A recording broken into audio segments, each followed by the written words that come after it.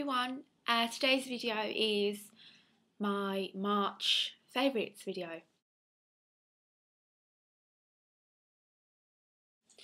Um, I've not got quite a lot of things, I have some skincare things and stuff, um, but up until recently I've not been spending a lot of money because I'm going on holiday and trying to save my money. It's not working very well, but um, first off I'll start about skincare, March favourites.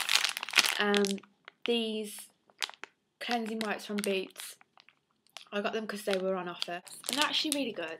I'm not, they're not something to rave about. They do their job, I guess. But I've got Elle Macpherson's The Body Bare Ultimate Moisture Body Butter. Um, this is in my favourites because I stole it off my mum. And um, it actually, I've actually used it quite a bit. But um, it's actually really good. Um, I did start using it on my face by accident and then got a major breakout, so I don't do that.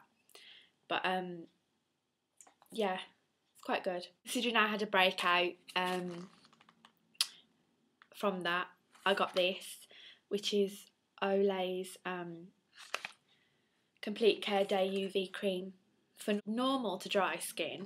Um, and I've been using this quite a bit, but I, I haven't actually started on that yet. I just use a lid. Um, and I don't know, it's good. I went through a phase where I was having a bit of a breakout from it, I think. But um, I'm okay now. My skin's gone clear again. I don't know. Maybe it's just my skin, not the cream. Um, but this is actually quite good because I've noticed a difference in my skin on my face a lot. It's not as dry as it used as it was at the beginning of like two weeks or three weeks ago since when I first bought it. Um, another thing that I've been favouring a lot this week is this week, this month, is the Lash Accelerator by Rimmel, but in um, extreme black, not just black, because I like to test these things out and see if there's a lot of difference. There's not that much difference. You don't have to apply that um, as much to your eyelashes, but um, I actually really love this, and a lot of people rave about it on YouTube, and I just wanted to get in there and rave about it as well. Um, it's a really good mascara. Um, Eight ninety nine I paid for this. I think it was worth it. And another thing that I've been using a lot is Rimmel's Exaggerate Eyeliner. Um, I think I've been going for a Zooey Deschanel look. Um, not that I'm any good at that look or anything, but um, Perfume wise, I've just been loving my Alien, which you can tell because I'm nearly out, which isn't good. For my lips, even though I keep my makeup to a minimum, it has to be Beehive by 17, um, which looks like this. Um, really like that. I don't know whether I should swatch it or not. It's coming up quite well on the camera. Um, and uh, actually really love that. I haven't used it quite a lot.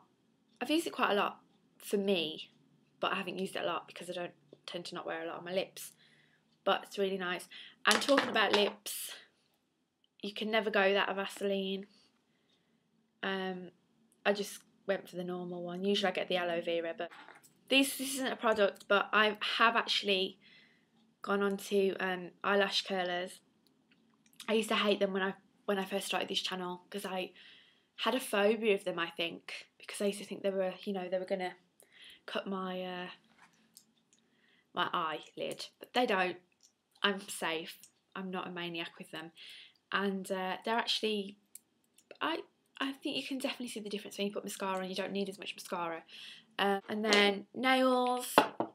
First, I actually finally found um, a Barry M Nail Effects in a boots in my, my town.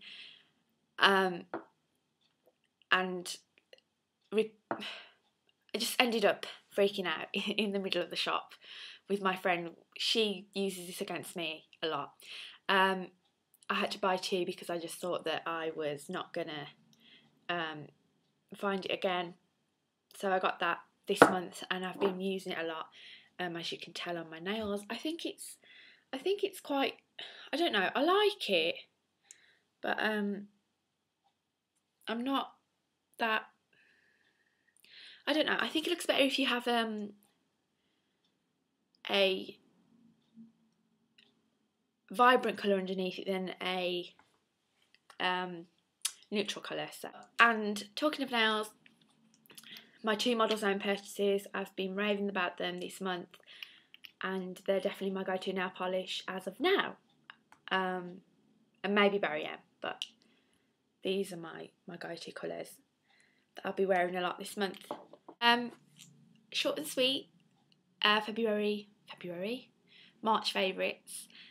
Um, and I'm back on a roll making videos, which I'm really excited about. So um, thank you guys for watching and subscribing and stuff.